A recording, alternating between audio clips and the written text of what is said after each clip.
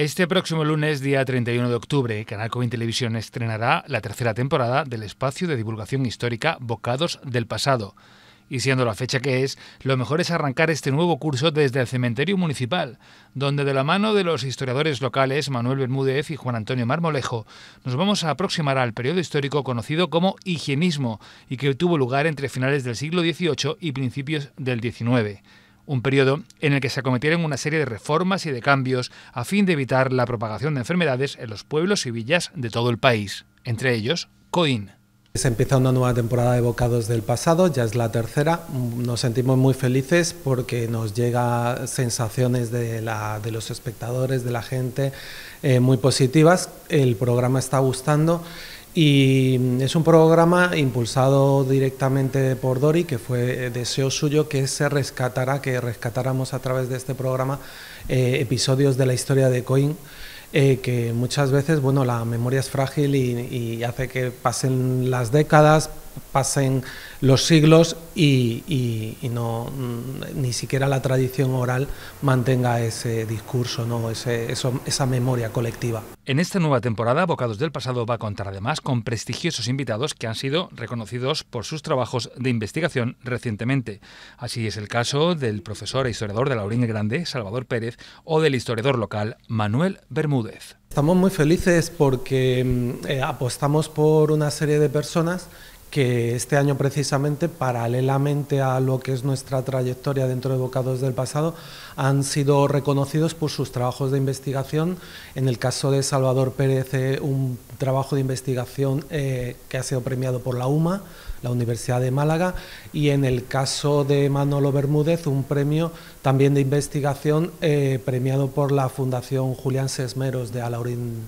de la Torre. Precisamente de este premio, Julián Sesmero de Investigación Histórica, hablamos con su autor. Manuel Bermúdez nos descubre cómo su último trabajo contiene aspectos poco conocidos de la visita de uno de los funcionarios más influyentes del Estado a finales del siglo XVIII, Francisco de Zamora, que estuvo en la provincia de Málaga recorriendo diferentes localidades, entre ellas Coín. El trabajo ha sido una investigación histórica a propósito de un personaje que escribe una serie de diarios cuando pasa por una cantidad de localidades malagueñas, son una treintena de localidades, y, también pasa por Coin. Entonces, de alguna manera, lo que se ha hecho ha sido, el, trabajo ha constado de dos partes, una que era biografiar al personaje, que de alguna manera no se había eh, acometido mm, quizá de manera tan extensa con anterioridad, y por otro lado analizar, mm, transcribir y sintetizar la información que, que está contenida en esos diarios, que están manuscritos y bueno, que refleja informaciones eh, que redundan en lo que es la provincia de Málaga, en toda la provincia de Málaga, eh, en 1700, desde finales de 1796 hasta 1798. El premio, mm, al margen de, lo que es la,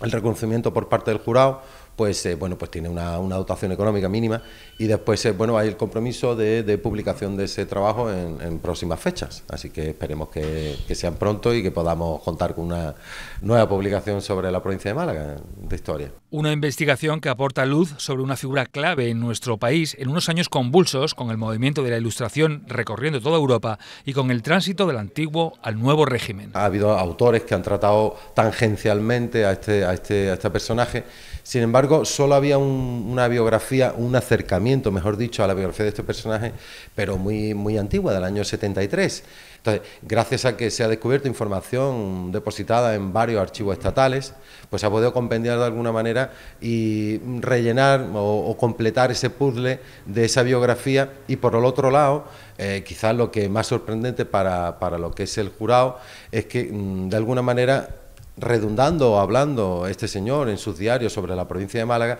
esa documentación estaba absolutamente inédita y nadie la había tocado en Málaga, excepto dos menciones sin entrar en, lo que es el asunto de la información contenida en esos documentos. Con este programa desde Canal Coin Televisión se renueva la apuesta por la historia de una manera didáctica, sin renunciar por supuesto al entretenimiento, porque como nos comenta el director del programa, la mejor forma de querer algo es conocerlo. La historia de Coín es muy desconocida para el coino en general eh, y yo he de reconocer que el, primero que se viene sorprendiendo de un número eh, sin fin de anécdotas eh, interesantes y curiosas soy yo, ¿no?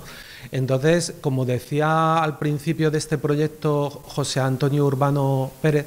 decía que, mm, que las cosas que se quieren son las cosas que se conocen y para amar Coín es necesario conocer la historia de Coín. Para completar esta información especial en torno al Día de Todos los Santos, el martes primero de noviembre, a partir de las nueve y media de la noche, podremos ver la reposición del espacio Lo Más de Coín en la que el historiador local Francisco Marmolejo realiza una visita guiada por el Cementerio Municipal de San Fernando, que en estas fechas es uno de los lugares más transitados de nuestra localidad.